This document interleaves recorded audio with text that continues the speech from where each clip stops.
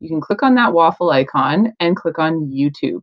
If you don't see it right away, you might need to scroll down. There might even be the option to click on more, but you should see YouTube show up in that list. Once inside YouTube, I'm going to go over here and click on my face. So this is where I would see my account. And I'm going to go down here and click on YouTube Studio. Here, it's going to prompt you to create your channel and you'll see that it by default just puts in your first name, last name. So you'll click this create channel button and now it'll give you the option to explore with a little tour of the studio or you can click got it.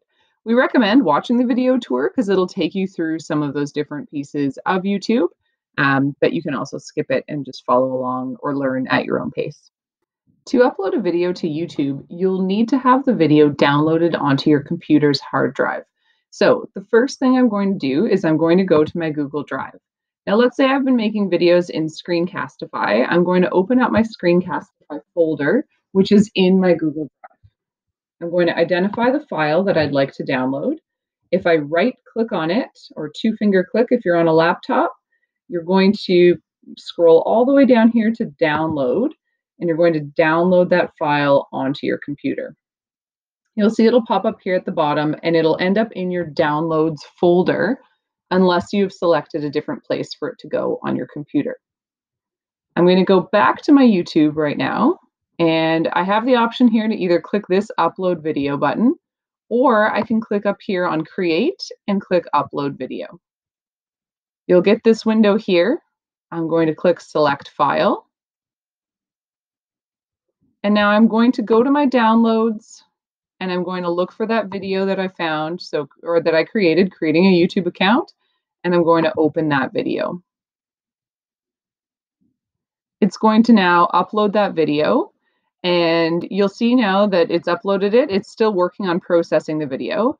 So while it's doing that, I can put, I have a few options. I can put in a description here about my video. So if this is a lesson for your students, maybe you're going to say, you know, describe what you're going to teach them in this lesson briefly, something like that.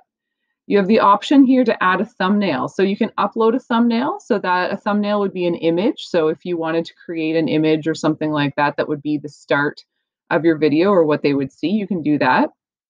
Otherwise, it'll give you some um, auto-generated thumbnails from the video itself. So you can wait for those to load and add those you can select a playlist that you want it on. So if you want to create a playlist for a class, so let's say you've got grade eight math in the morning, for example, you might make a playlist specifically for that class, right? So it might be nice to add this to that class. I can then choose whether I want it to be a public playlist, a private playlist, or an unlisted one if you're sharing this with your students, you would want it to be either public or unlisted. So public means that everybody on the internet might be able to find this playlist. This is the same for videos. So if anything is public, anybody on the internet could find that video. If it's private, only you will be able to view it. So if you make it private, your students will not be able to see it. So that's not a good option. But unlisted is a really nice option for schools because what that means is that you anyone who has the link can view that video. So in this case, because we're making a playlist, if you make it unlisted and you share the link to that playlist with your class, everybody in your class would be able to see that playlist, but it wouldn't be searchable on the internet. So I'm going to choose unlisted because I like that idea of having a little bit of privacy. I'm going to click create and I'm going to select that playlist for this video and then I'll hit done. Now, scrolling along further, it asks me about my audience. So is this video made for kids? So if you are making videos for your classes, you're definitely going to check the yes, it's made for kids button. If you are making an instructional video for your staff, so if this is, you know, if you're a principal and you're making a video for your staff, you might choose the no, it's not made for kids button. But again, if you are making it for kids, I would choose yes, it's made for kids. You've got more options down here as well. So paid promotion, you can do that. But again, because this is education, you shouldn't need to do that.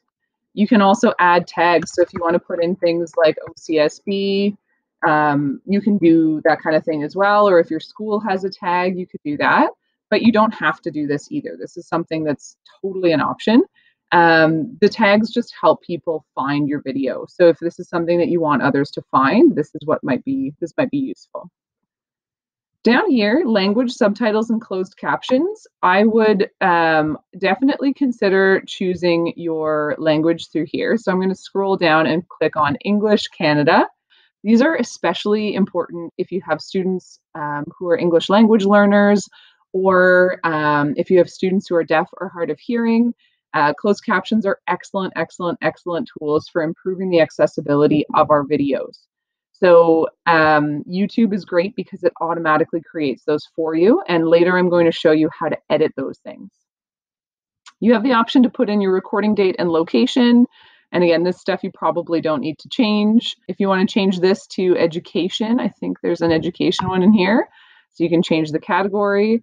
Okay, so once you've kind of gone through and made all those changes, you're going to hit next. And you can come back and change some of those things after as well. Um, you have the option here to add an end screen or add cards and stuff. So if you want to kind of promote things at the end of your video, you can do that, but you don't need to. And then again, your visibility. So earlier we set the visibility for our playlist. Here we're going to set the visibility for our video. So I'm going to make this an unlisted video because I only want students in my class to find it.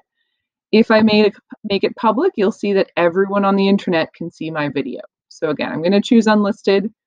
Um, private, it'd be only you and people you can choose. So there is an option to share it if it is private, but again, unlisted is probably your best bet because then you're going to be able to share it easily with your students and parents if need be. New kids appear in this video. So we have some really important things to keep in mind when we're making lessons. So if you, for example, have made a video and it includes student names or um, student pictures, and those you don't have permission to share those pictures, you might want to think twice before you post it onto YouTube. Um, yeah, so it gives you kind of some information here about that kind of stuff. But we do want you always thinking about student safety, especially in these new times where we are using a lot more online video. Um, keep in mind what you are sharing to the internet. So once you've done all that, you're going to hit save and your video is now published. You can now take this link right here and click on this button and it'll copy that link and it's ready to be shared with your students. You can also click here and it'll go, it will give you an embed code. So if you're using a website or something like that, class website, you can take that and then paste the embed code into your website, which is a really nice way to share. Um, and you'll see there's some other options here for sharing. But again, the, the most likely option that you're going to use is the copy video link. If you close this, you'll be able to find that link again. Don't worry. So you can see now my video is here. It gives me options to edit the details, to view the analytics. So this is where I would see the number of views.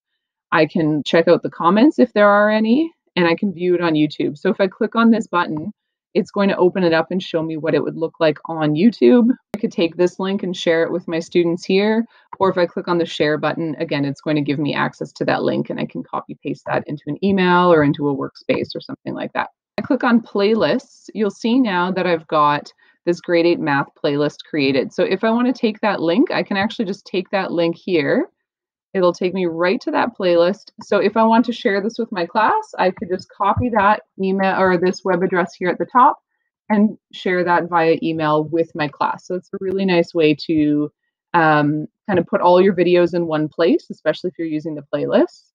The analytics button here will show you um, if you've gotten any views and kind of how long people are viewing videos for. So you can take a look at some of those features there. This is especially helpful if you're um, wanting to see if your students are actually accessing your videos and seeing how often that they're being viewed. Um, also really helpful to see if they're actually watching the videos in full, right? So if you are creating lessons and you want to see how long they've watched a video for, um, that can be a really useful place. Okay, I'm going to show you how you can add or edit your closed captions in a video. If I'm in my YouTube studio, I'm going to click on videos. From here, I'm going to select the video that I'd like to edit the subtitles for and click the little pencil for details. I'm then going to come over to my left side here and click subtitles. You'll see over here that the subtitles have been published and they are automatic for the video. If you don't see this message, you might have a little bubble right here in the middle of your screen that asks you to select a language and set that as your default language. So you should go ahead and do that and then refresh your screen. If I click on published subtitles, you'll see now that I get this um, window that shows me um, the published subtitles and the automatic subtitles that have been generated. So now I can click through these and if I, I can read them and make sure that all my grammar and spelling is correct. If I need to change anything, so for example, I can see here that it's put in gonna, G-O-N-N-A, so maybe I want to change that to going to. I'm going to hit edit.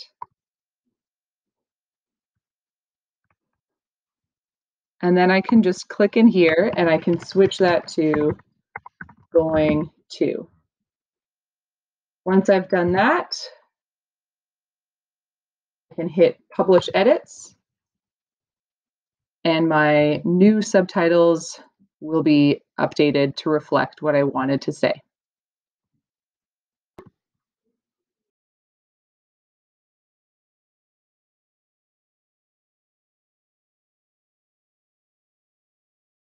What you'll see here is that right now it's giving me the option to add subtitles. This is because the video is still new and just processing. If I give it some time, eventually the video will have auto-generated um, subtitles. Okay, I do have the option to go in here and add my own subtitles. So if I have a video transcript, I can upload a file. If I click on transcribe and auto sync, it actually gives me the option to type out the words that I'm saying in the video as I'm watching it.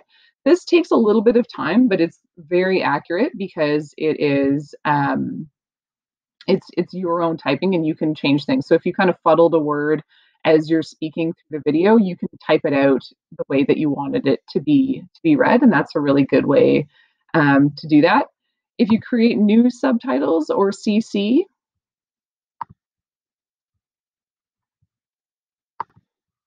then it gives you this option. Now, I will say that creating, um, using the second option is a lot easier than this, but you can also kind of just type in your stuff here and press enter and it'll create subtitles for you. Um, but I'd say if you're going to use one of these options, number two here, transcribe and auto sync is the easiest because that's going to give you an option to just type out your own script and it auto pauses while you're typing out the script. Um, it, depending on the length of your video, this might take you no time at all. Uh, it might take you some time, but it's it's a really good option, and especially if you have students um, with various accommodations in your class, especially if you have a student who's deaf or hard of hearing, this is essential for your class.